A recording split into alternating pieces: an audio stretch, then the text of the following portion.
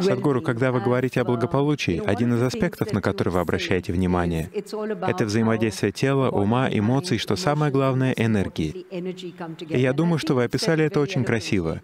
Если тело испытывает приятные ощущения, мы называем это здоровьем. Если ощущение очень приятное, мы называем это удовольствием и так далее. Можете перечислить до конца.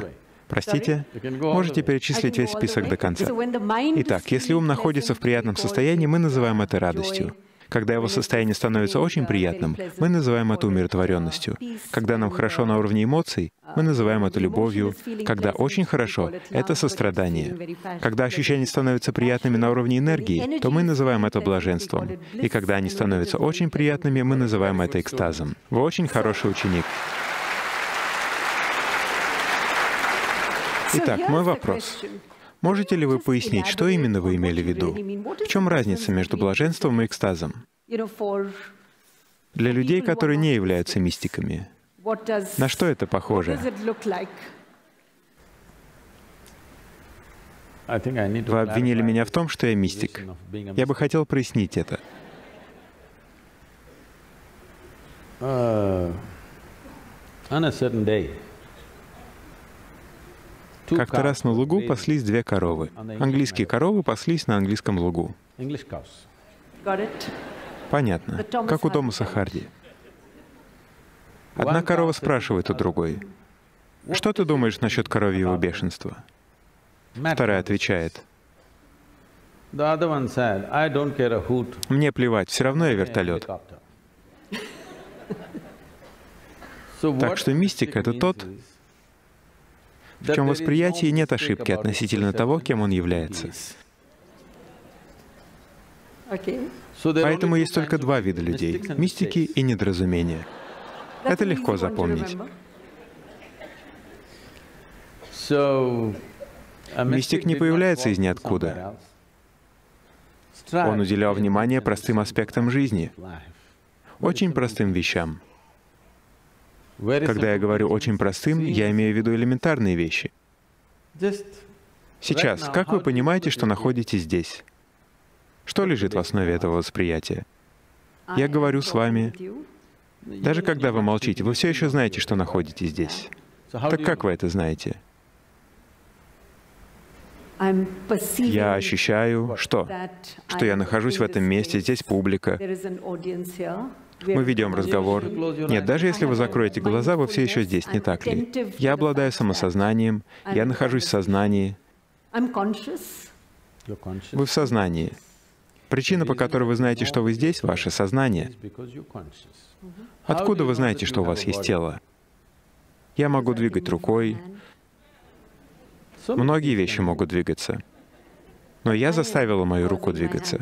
Хорошо, но даже если вы не двигаетесь, вы все равно знаете, что тело присутствует, не так ли? Потому что есть ощущение, не так ли? Если не будет ощущений, то вы не будете знать, есть у вас тело или нет. Без осознания вы не будете знать, здесь вы или нет. Не так ли? Эти вещи мы воспринимаем как должное.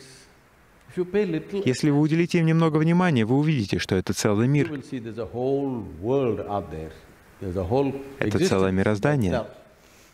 Если вы уделите достаточно внимания вашим ощущениям, вы познаете природу своего физического существования. Если вы уделите внимание тому, что вы называете сознанием, то вы познаете природу своего существования.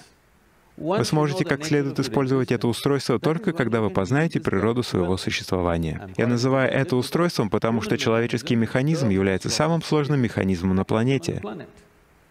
Мы не просто так возглавляем эволюционную цепочку. На то, чтобы создать вас, ушли миллионы лет.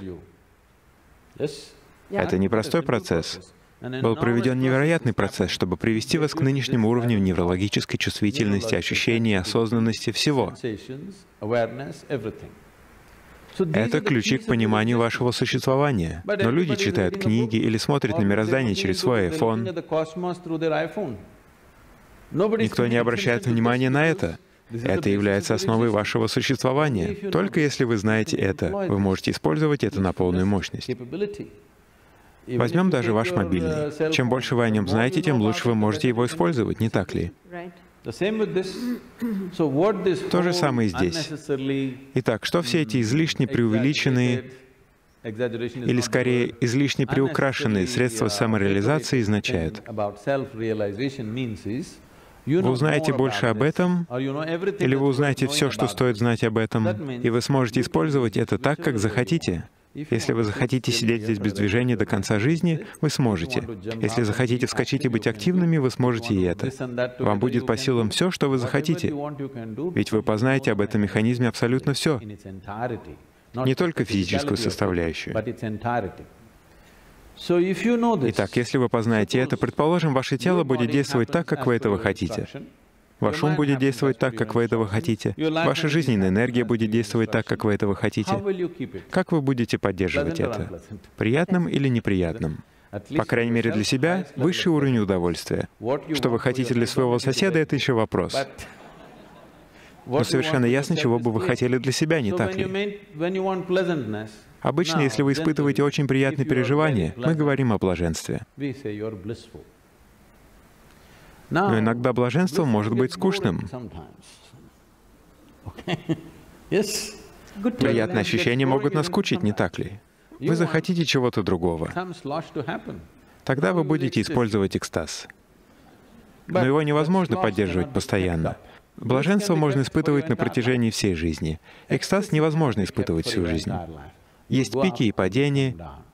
Или другими словами, блаженство — это устойчивый уровень приятных ощущений, интенсивных приятных ощущений. Экстаз невозможно поддерживать на одном уровне, но вы можете испытывать его довольно часто, хотя бы несколько раз в день.